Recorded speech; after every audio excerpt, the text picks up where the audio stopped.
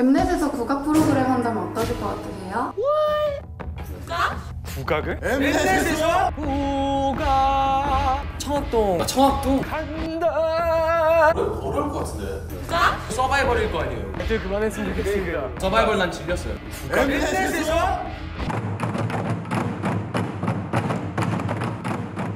모든 걸 뒤엎을 판